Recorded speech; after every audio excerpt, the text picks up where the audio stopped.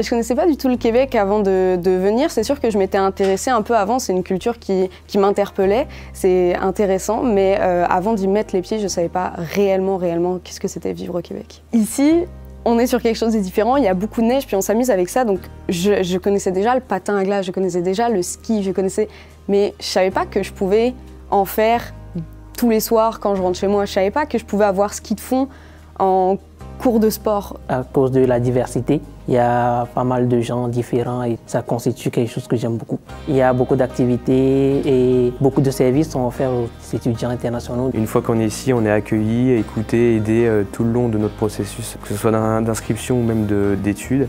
On a un très bon service euh, pour les étudiants internationaux ici au Cégep de Jonquière qui permet d'avoir des activités socioculturelles qui font que tu apprends quand même à connaître du monde avant le jour de la rentrée en elle-même.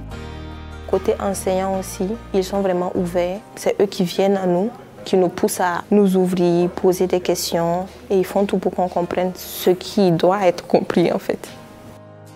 Les laboratoires, ça permet bien évidemment d'acquérir de, connaissances en matière de manipulation. Une fois sur le marché du travail, c'est beaucoup plus pratique, ça ouvre beaucoup plus de portes.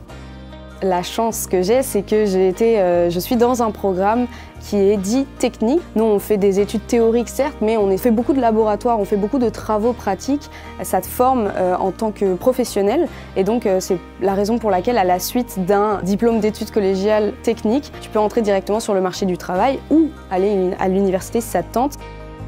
L'activité qui m'a le plus aidé, c'est le café causerie. C'est un cadre où j'arrive à échanger avec d'autres étudiants que je ne connaissais pas. Et après, ça devient des amis en fait.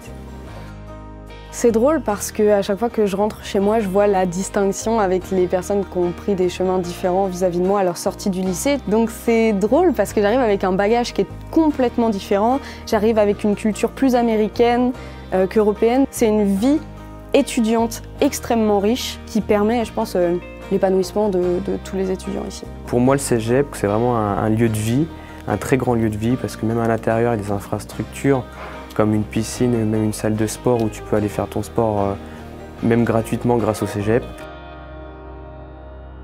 Pour ce qui est des stages en ATM, à la fin du programme, on a un stage euh, d'observation de 5 semaines qui permet d'aller sur le terrain et c'est super intéressant parce qu'on a passé 3 ans à se professionnaliser et puis à, s'entraîner pour ça. Le conseil que je peux donner, c'est de se lancer, même si on se sent jeune, ce serait une très bonne expérience qu'on ne regrettera jamais. Si j'ai un conseil à donner à un étudiant international qui aimerait venir au Québec ou plus précisément au Cégep de Jonquière, je, lui dirais de foncer. C'est très intéressant comme milieu et endroit pour vivre.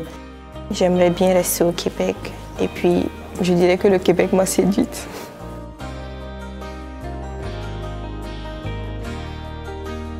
Si tu es entre Français, entre personnes de ta nationalité dans un pays étranger, je pense que tu passes à côté de l'expérience.